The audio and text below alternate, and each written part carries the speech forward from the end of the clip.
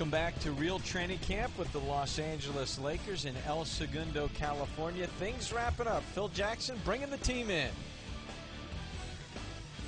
and letting them break. All right. And that is, as it is, has wrapped up here at the uh, Toyota Sports Center. Marc Fein Norm Nixon, now joined by Kobe Bryant, if you didn't recognize him. Uh, first question's got to be everybody's going to want to know how you're feeling. We see the knee wrapped. How's the knee and the finger? Doing well. You know, knee is doing you know much better than it did you know, than, than it was last year in the playoffs. Um, so it's getting stronger, and you know the finger kind of is what it is, but it's that's feeling good too. Well, I want to ask you about the World Cup. How was the World Cup, man? you know, it was uh, it was an amazing experience. I got a chance to actually sit, you know, with the crowd and uh, hear those vuvuzelas going crazy. All you know, it was it was a wonderful experience. Oh, good, good. Uh, and, and I'm gonna I'm gonna get back. You know, you you asked the fun questions. Yeah, I, yeah, gotta yeah. Stick to the business. Uh, we're not seeing you out on the floor yet. Can you let fans at home know maybe what the timetable is with the knee? When will you be running, Phil? When will you be back to? When to it's ready, I'll play. Okay. Simple as that. That means he'll be playing uh, opening night, though. This guy, but I want him to take his time, you know. But uh, I, I, noticed something very interesting about your practice. Uh, it seems like you guys go through very basic, fundamental stuff for most of the practice. Is that Phil's style, or have you been doing this since you've been here with Phil? Since uh, first day of camp, when he first got here in 2000, 99, 2000. Um, you know, we had practices like this, and it's been that way since he's been here. You know, he's a very fundamental coach. Uh, he preaches the basics, and he wants us to master those basics, and uh, that's all we do. Is that tough for veterans to come into camp and have to go through those same tedious things? I mean, I'm sure there are kids at home watching don't like doing it in their practices. At least they come see you guys go through the same thing. After you win championships, no, it's not. Gotcha. You, know, yeah, you understand what gets you there. But I will say this for veterans: most veterans don't want to do training camp anyway. He's mentioned that a couple of you know, times Phil's, today. Uh, Phil's camps though aren't aren't that crazy. Hard. I mean, he's not, you know, because he understands it's a long season understands he has a veteran group. He's never been a kind of coach that really pushes players to do all these sprints and all this other stuff. He'll run you a little bit, um, but for the most part, it's all X's and O's and it's all fundamental work. Well, we talk about and winning championships. What is the one uh, characteristic that you think he brings to the table that uh, enables you guys to continue to win and play at this level all the time? Well, it's his understanding of the momentum of the game and and the basics of it. I mean, he's not a coach that's a rah-rah coach and in guys' faces and trying to pump them up and motivate them. You know, he preaches the basics and he preaches the style of play that we want to have, and he does that on a consistent basis. So the message is the same. Now, and I know usually in the summer times you're a maniac when it comes to working out. Did you get some rest this summer? Yeah, I didn't do anything all summer. I, I, really just, you know, that was that was my training. Good. You know, good. resting was my training. So. Talk a little bit about the new guys. I mean, this is a team back-to-back championships, and there's no question you guys have picked up some some guys, both you know, through free agency and also through the draft that, that should be good additions. Yeah, we got some you know key additions. Yeah. Obviously, you know Matt's a big big part. You know Steve Blake's one of the most underrated pickups of the off season. Bringing Derek back, obviously. Uh, Theo Ratliff, who looks uh, does not look 37. Um, and then obviously the rookies that we drafted. You know we feel like they have a lot of promise as well. Uh, so we got a good group. And, and that's got to be for for the veterans. That's got to be a big deal too in terms of rejuvenating. Look, you're trying to do something. You can't say it's unprecedented because Phil's looking to do it for the fourth time with the three-peat. But by the same token, something that's obviously very difficult, and you're not just standing a pat. You're trying to make improvements. Well, I mean, every year is a different challenge. You know, I, we don't try to group years together. Uh, we just approach this season as something new, something fresh, and um, you know, if we win it again, if we're fortunate enough to win it again, the end result is a three-peat but it's not something that you think about on a day-to-day basis. It's about how are you going to win this season with the group that we have. And in talking about that, staying on that same line of thinking, what are the one or two areas you think you'd like to see this team improve on, or, or what are the two most important things that you think you guys need to do in, in order to keep it's winning? All, it's always pace? defense and rebounding. That's, that's, always the key for us. We feel like um, you know, if we do those things, we'll be fine. You know, we have enough firepower to generate offense. You know, your offense is going to struggle from time to time, but we feel like for the most part, we have guys that can step up and make contributions offensively. You know, but defensively and rebounding is, is what gets those championships. Right. With Phil, you know, the conjecture is that this will be his last season. Obviously, there's a little wiggle room that that's been left there. But ha has that changed things at all? As you guys talk about that at all, what's the feeling around the team concerning that? No, we don't talk about it. We don't talk about it. We, uh, you know, we, we approach it the way he he's taught us to approach the game, which is take it day by day. You, know, you don't think about what's going to happen in the future. You just think about the moment that you're in. Okay, the moment that we're in right now is we're sitting here at real training camp with the LA Lakers, and I've said this already several times during the course of this show. There has got to be less attention for a back to back championship team than there's ever been in the history of sports because of what is going on on a beach on the other side of the country. What's that been like to watch that whole thing unfold and, and, and to have it really, it's had somewhat of an effect on what's going on over here? It's been great for, for all of us. I think it's you know it's been great for me. You know, I, I like you guys. I don't, you know, I don't really like dealing with all that hoopla. So it, it's, uh, but it's it's been good. Well, what do you think about? Uh, I mean, tell us a little bit what your thoughts are. There's been so much. Th- look, LeBron James was vilified by a lot of people around the country after his decision to go to Miami, and the three of them getting together. People have used the term collusion, and it's uh, a lot of people looking at it negatively. What's Kobe Bryant think about it? you know, I, am happy for them. I've said this, and I continue to say this. Um, you know, I'm happy for him because he's happy in his decision, and uh, D Wade obviously because he's had a couple years down there in Miami where, um, you know, it was a struggle for him, and you know, he's too talented to be in that kind of a situation. So, um, and Chris as well. So you know, they're all happy, and um, so I'm happy for them. Well, back to you. I'm going to talk about your injuries again. You you did not want to get the finger taken care of. Why did well, you make that I mean, decision? It's, it's uh, the timetable for recovery was just too extensive mm-hmm. uh, for me to miss a significant part of the season for an injury that I've played with anyway. Right. Uh, it just didn't make sense for you know for me to do that. You making any changes, adjustments? Do you work on things in the way you're shooting the basketball and handling the basketball with the finger? You know what? Last year was from game to game.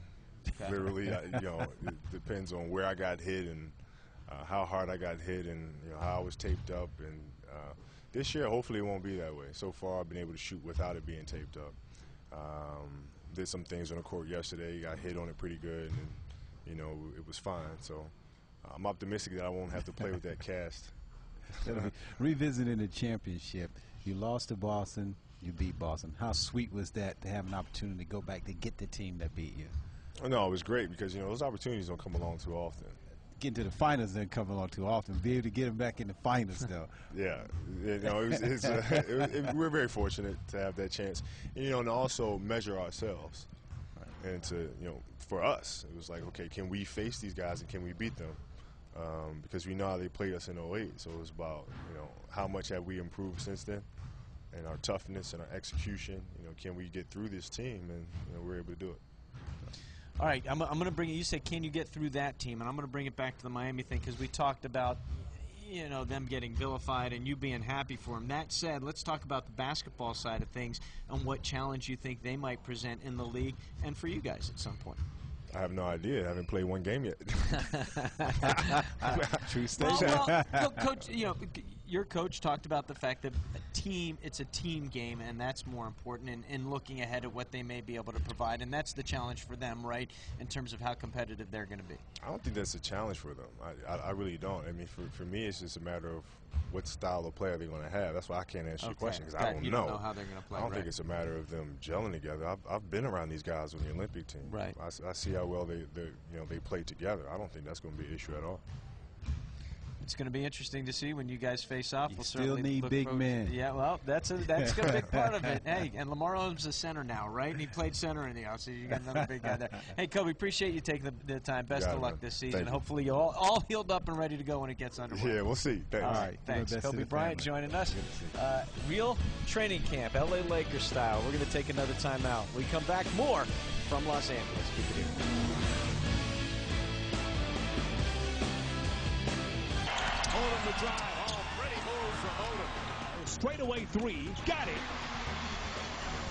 Odom attacks down Broadway up to the rim and scoops it in with a left hand. Motor no good. Odom flushes the rebound up and in. Pull up from three. Good. Once again, nice move by Odom. Yeah. Welcome back to Los Angeles, California. Real training camp here in uh, Marc Fein and Norm Nixon, now joined by Lamar Odom. And Lamar, appreciate you taking the time. No problem. Anytime.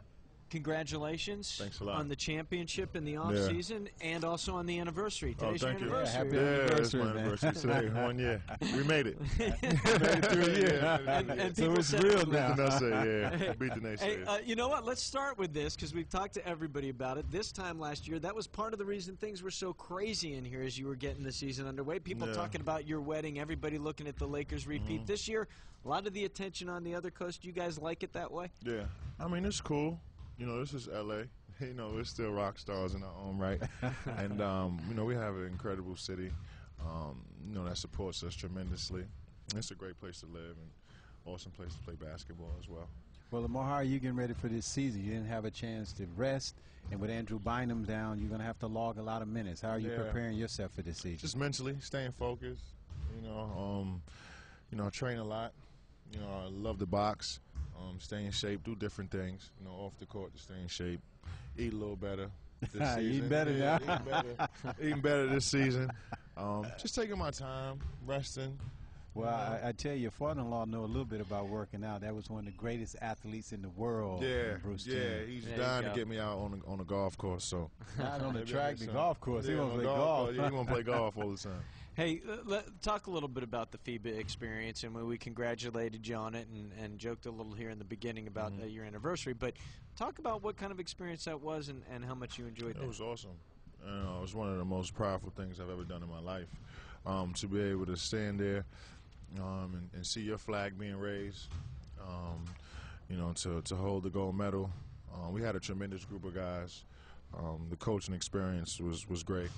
Um, I'm lucky. I've been um, taught by Pat Riley, Phil Jackson, now Mike Krzyzewski, Yeah. a little bit of Larry Brown and Gregg Popovich. so I got my basketball what- to right. And what was it like getting a rebound, giving it to those young legs you had playing with you in that I'm- championship? They were amazing. They were tremendous. Like they're tremendous basketball players, um, of course, and um, tremendous athletes. Of course, you know Durant. He stayed hot the whole tournament. Um, Russell Westbrook, Rudy Gay running out in the wings, and Andre Iguodala. it was just like it was easy. Once we played defense, our goal was to be the best defensive team in the tournament.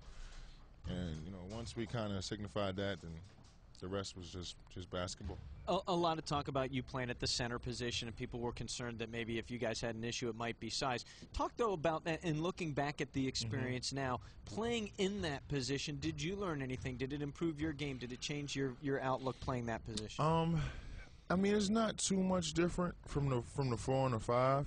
Um, what we were able to do and what we focused on was, you know, digging the ball out of the post, just not letting you know me stand there and just you know fight with guys, just digging the ball out of the post, making them kick it back out, um, run those guys off their shots, um, and just speed the game up. You know, basketball is basketball. It's a universal language. You know, it's the same all over the world. Right. Did Did you talk, by the way, with Westbrook Durant? You guys talk at all about that first round Yeah. matchup or any of the playoffs? Nah, not too much. they didn't bring it Not up? too much. Not too much. But um, those guys were real receptive as far as um, receiving information, and um, you know they understand what it takes to work hard, and they they want to win. And I respect that, and I can't give out too many of, of our secrets. I, I asked Kobe the same question, and, and heading into this season, what Mm-hmm. are the one or two areas you'd like to see this team improve in order to stay at that same level of winning you were at last year? It's got to be defense, man. You know, we got guys that can score the ball, man. We got got a guy that can score 81 Sounds points. familiar. sounds, sounds a little familiar, a You little know, like what Kobe said. You know, you got guys like you know Pau. You know, he's one of the best ever. Maybe offensively, big man. When you talk about how he shoots the ball out from 15 feet, um, the way he uses his left and his right hand, how he plays the point guard position from the post.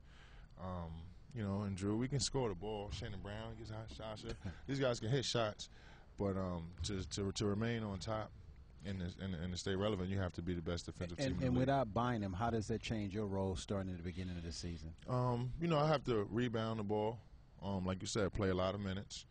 Um, you know, play tough post D, make some shots, um, shoot the ball well from the outside so we can spread the court and let Kobe and Pau, you know, work that post. And get in the post myself, like you always, like you always tell me to.